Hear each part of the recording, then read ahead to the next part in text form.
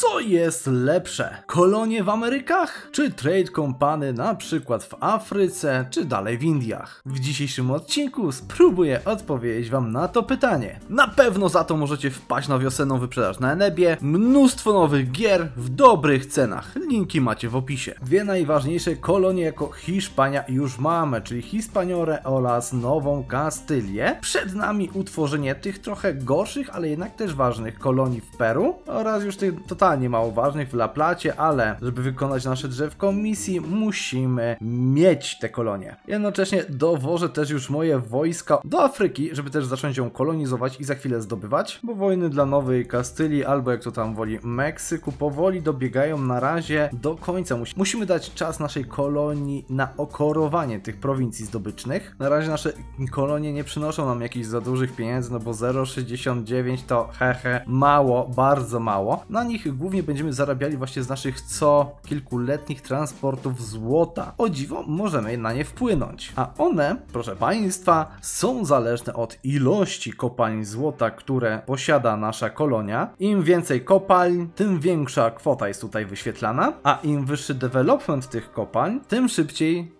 ta kwota jest zbierana. Chyba wystarczająco jasno to opisałem. Możemy dodatkowo wpłynąć na wielkość tego złota. O, przez ten modyfikator dochód ze floty złota. A jako Hiszpania możemy go podnieść o 90%, co jest naprawdę niezłą wartością. Dodatkowo nasze kolonie, jak już troszeczkę urosną i postawimy tam budynki, będą naprawdę nieźle zwiększały liczbę wojska, które możemy posiadać. O, to jest trochę większa wojna niż myślałem. To miało być dwa kraje. No, moje roszczenia do Kongo, nie. A miałem już nie karmić tak bardzo tej kolonii, no trudno. Jeszcze dostanie ostatni kawałek ziemi i naprawdę teraz tutaj przystopuję. I jednocześnie odkryłem wszystko, co się dało w obu Amerykach. E, więc tak nam się to prezentuje. Ja tu wciąż widzę jakieś białe plamy. I powiem wam szczerze, że jak już mamy wszystko tutaj podbite, no większość mamy podbite, to teraz lepiej jedną armię zostawić gdzieś tu w okolicy na tłumieniu buntów, niech chodzi i pomaga naszym koloniom, bo one raczej same nie ogarną tematu. A drugi oddział wysyłamy do Ameryki Południowej. W ogóle granie na koloniach to zobaczcie, to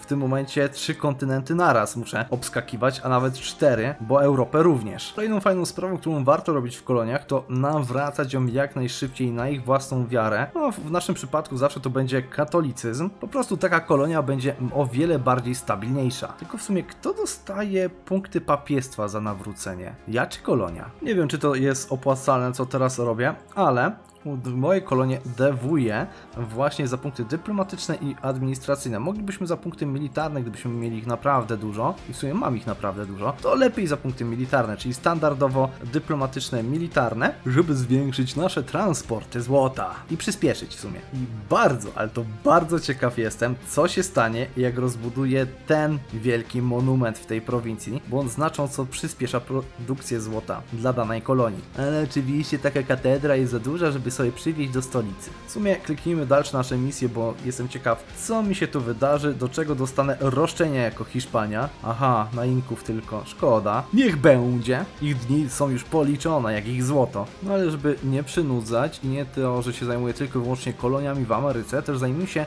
kompaniami handlowymi w Afryce. A zacznę od zdobycia wybrzeża Ivory Coast. Oba regiony, zarówno Kongo oraz Timbuktu są mega bogate i warto jest je zdobyć dla Trade Company. A zazwyczaj jest to dość łatwa robota. I przyczuwam ogólnie niedługo walkę o te terytoria z Anglią. A papież ogłasza, że kolonialna La Plata staje się nasza. O, w sensie wszystkie prowincje w tym regionie dostały naszą flagę i przypominam, że to przyspiesza kolonizację nam, a spowalnia innym krajom.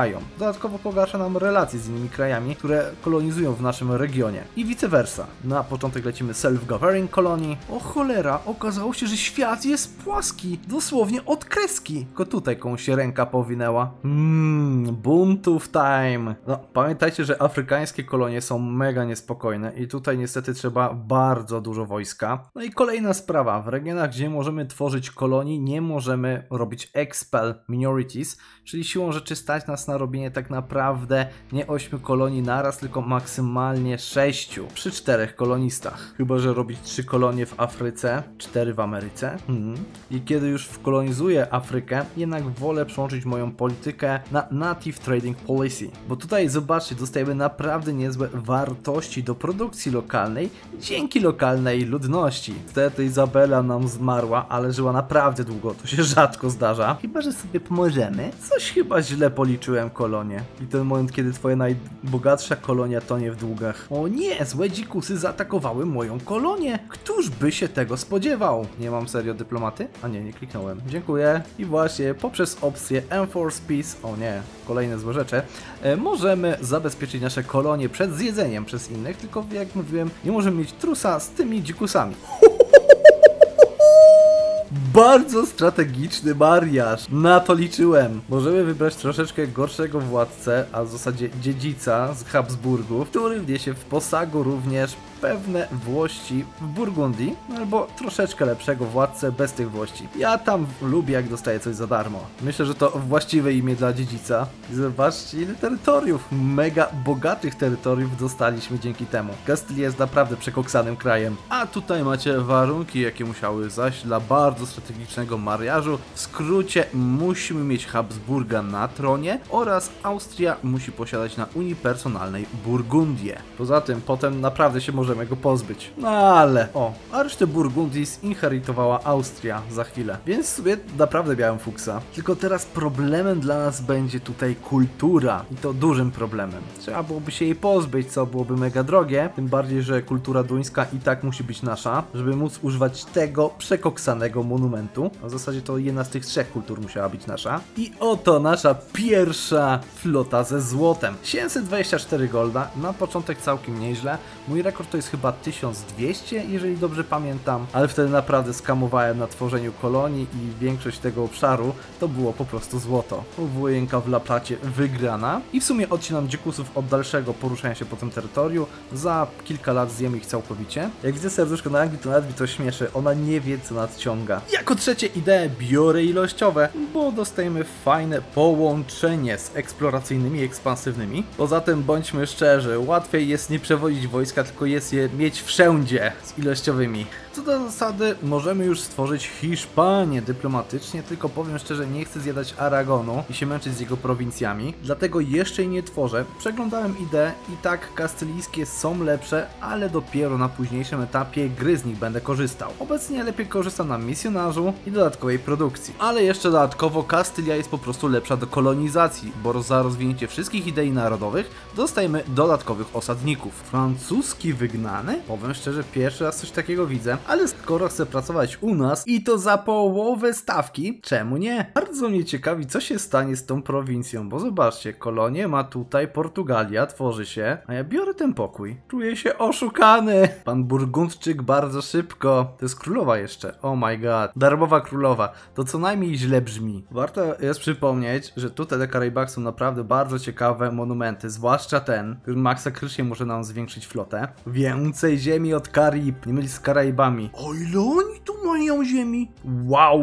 Ja chyba to chcę. Czas na pierwszą wojnę w Afryce i Kongo będzie naszym celem. Te, tylko jak zwykle nie masz żadnych dowódców do tej wojny. Trudno. Uuu, złoto! To nie wygląda jak złoto. Halo?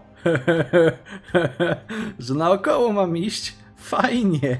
O, ale ten będzie szybciej. O, Tofik jeszcze żyje. Hujujujuj, cześć Tofik. Zjadłeś coś dzisiaj? O nie, złe Czechy. Nie tylko husycyzm, ale też protestantyzm tam się zaczyna. A mnie się zaczęła rewolta Niderlandów. Nienawidzę tego. Trzeba byłoby tam stolicę przenieść. Ale czy to oznacza, że mi się tutaj wypuszczą Niderlandy? Hmm, nawet ciekawe by to było. Dajcie mi znać w komentarzach, co by się stało, jakbym pozwolił na dojście tego paska do końca. No i wojna zakończona z Kongiem. W pierwszej kolejności wybrzeże, bo jest najważniejsze. W drugiej kolejności odcinamy Kongo od reszty przyjaciół, żeby odbić ich później. Korowanko oraz co ważniejsze przeniesienie naszej stolicy do regionu niderlandzkiego. O cholera, nie! Nie!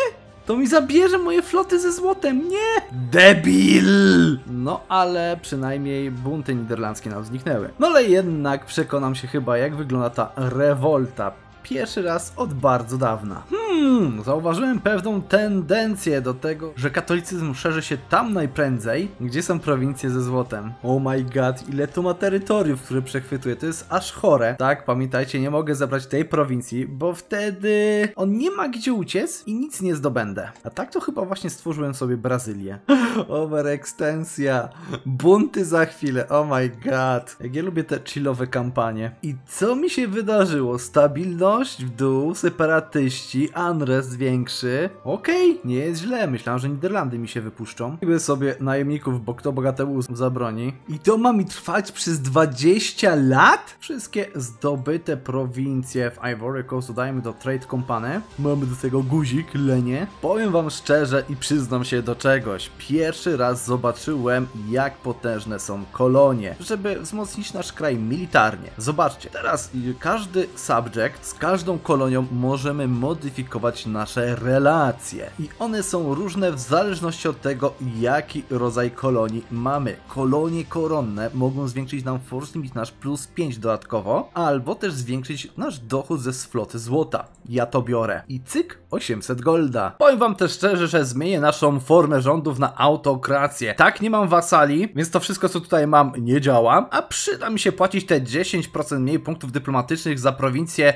do których nie mam roszczeń, w przypadku podbijania Afryki. Jeżeli idzie o region kolonialnego Peru, tutaj lubię podbijać to dokładnie tak samo jak Meksyk. W pierwszej wojnie bierzemy najwięcej terytoriów, ile się da, więc niestety tego typu kraje, gdzie nie mamy dostępu do morza, odpadają, więc bierzemy White Peace'a, a pozostałe kraje, wszystkie, które mogę, zjadam. Jednocześnie nie trzymam się też tej zasady, że koruję tylko tyle prowincji, żeby mi powstała kolonia, czyli 5. Koruję wszystkie, żeby moja podstawowa kolonia, która tutaj powstanie, była od razu jak najsilniejsza. I rozpoczęła nam się kolejna era w międzyczasie. Patrzcie, 100% większa moja flota ze złotem. Masakra. Praktycznie co pół roku dostaję 833 golda obecnie. Dokończamy trzecią ideę i zobaczcie, dostajemy, tak jak mówiłem, Global Settler Increase jeszcze raz i odpalamy znowu kolejną politykę zwiększającą nam właśnie ich przyrost, co znowu daje nam niesamowicie szybki przyrost naszych kolonii. Kastylijskie Kongo też już się dość ładnie nam prezentuje. W czasie też zrobiłem monument do trzeciego poziomu na złoto.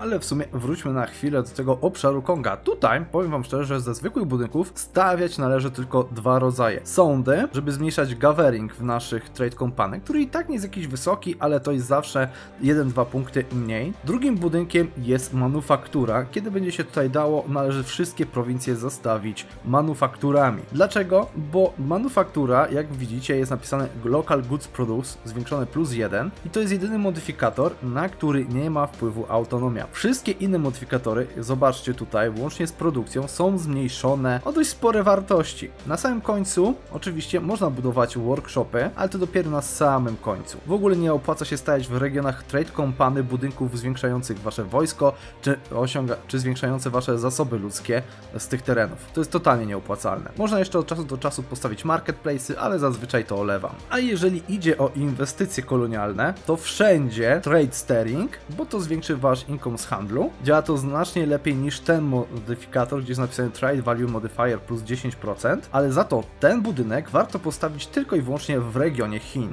Dlaczego? Bo Chiny są początkiem drogi handlowej i warto jest zwiększyć już to na samym starcie. Trade steering to jest mnożnik, który zwiększa wasz handel, więc też warto go użyć, ale po drodze właśnie do waszego głównego obszaru handlowego. Czyli tutaj, gdzie zbieramy, a na ten moment jest to dla mnie Sevilla. Z tych mniejszych budynków do rozwoju prowincji, to w zasadzie warto postawić tylko i wyłącznie dwa. Pierwszy budynek, Broker Exchange, który zwiększa, jak widzicie, Local Good Produce plus 0,30 i tylko i wyłącznie ten budynek. Jeżeli będziecie mieli hajs, warto jest postawić ten budynek, żadnego innego w zasadzie nie opłaca się tutaj stawiać. Bardzo rzadkim przypadkiem, kiedy gra się pod zmniejszoną autonomię w waszych terytoriach lub trade company, warto jest też stawiać ten budynek, minimum local autonomy, ale mogę powiedzieć, że to stawiałbym tylko grając USA i to jeszcze Hindu USA. Dlaczego? Bo wtedy bym miał w terytoriach jakieś 5% autonomii już po wszystkim. Trochę wojen, 3, niby niedużo, ale walczę w zasadzie z całą Ameryką Południową. Straszne boję się. Czuwam, że kolonizacja za to Ameryki Północnej i zdobywanie tych prowincji tutaj to będzie naprawdę wielki ból krzyża. Stajemy się imperium, a jeszcze nie jestem Hiszpanią. Na cały obszar Afryki tej centralnej ustanawiam jedną armię dwudziestkę,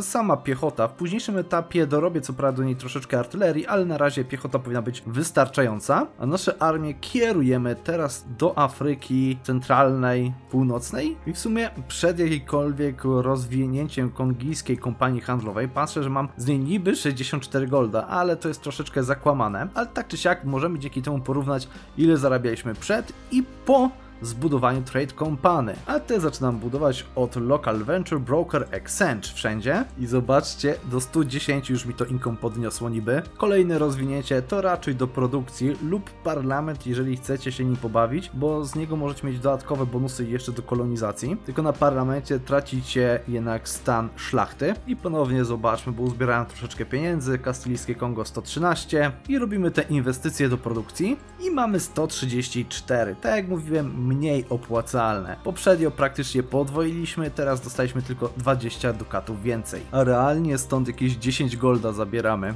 które trafia do nas pomnożone przez te wszystkie bogactwa, tylko muszę moją flotę tutaj wysłać do Ivory Coast za jakiś czas. Aha!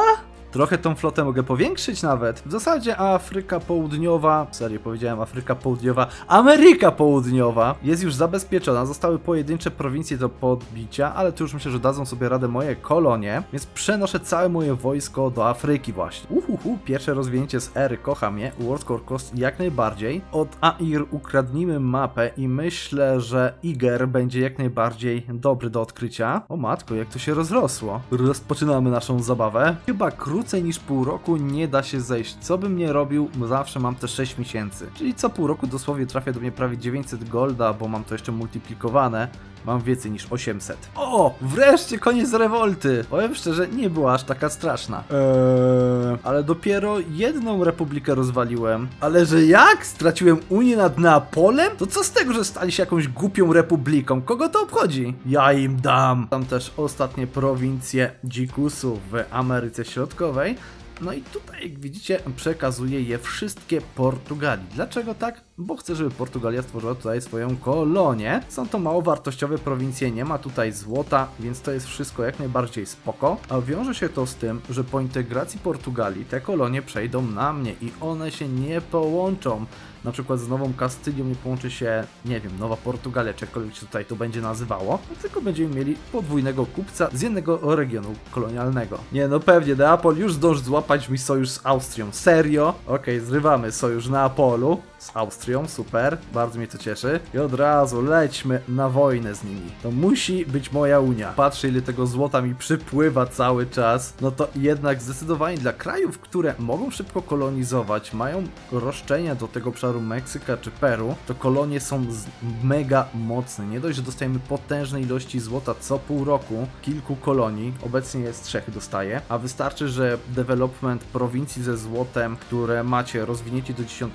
poziomu i to przyspiesza. Po prostu co pół roku dostajecie transport złota, plus zobaczcie ile ja dostaję force limitu z moich kolonii. Bardzo dużo. Z Nowej Kastylii nawet plus 20, a jeszcze tam nie postawiłem budynków. Ale gdybym grał krajem bez możliwości kolonizacji, to jednak tak czy siak trade company są całkiem niezłym źródłem dochodu. No, z tej prowincji leci nam 10 golda, które trafia tutaj. Tutaj już mamy 20 tego golda, bo stąd zbieramy 8. No i przesyłamy jeszcze więcej do Sewilli. No tu siłą rzeczy mamy 57 golda przypływającego nam z zarówno Karaibów, gdzie na razie tego troszeczkę mi ucieka, ale to jeszcze przez jakiś czas, więc przynajmniej połowa leci z moich trade company. Aż nie mogę się doczekać 16 poziomu technologii, 16 albo 14 w sumie, bo nigdy nie potrafię tego zapamiętać, gdzie tutaj wszędzie postawię manufakturki, tutaj w koloniach i tak dalej, ile tych pieniędzy będę miał wtedy. Mocno też się zastanawiam nad skasowaniem eksploracyjnych, ekspansywnych idei i na ich miejscu wzięcie idei religijnych i handlowych. Domyślacie się, dla Goods Production Modifier. Na razie też póki kolonizuję, nie mam zamiaru zmieniać się w Hiszpanię. Co prawda trochę cierpię na tym braku Malty, moglibyśmy już z niej korzystać, tym bardziej, że rozwinąłem w międzyczasie ten monument do drugiego poziomu. Kolejną fajną sprawą i przewagą kolonii jednak nad Trade Company jest to, że nie tracimy tutaj dużo punktów ani dyplomatycznych, administracyjnych, kiedy je podbijamy, tak? Bo to wszystko sobie korują prowincje, bo to wszystko sobie przyłączają nasze kolonie. Co innego w przypadku Trade Company. Tutaj wszystko musimy sami okorować. Jak nie mamy do prowincji roszczeń, to zapłacimy punktami dyplomatycznymi. Według mnie kolonie po prostu dzisiaj są znacznie lepsze od Trade Company. Dajcie mi znać natomiast, co wy myślicie na ten temat. Czy według was Trade Company może jednak są lepsze? Ja się mylę. Czy jednak wolicie działać pod kolonie?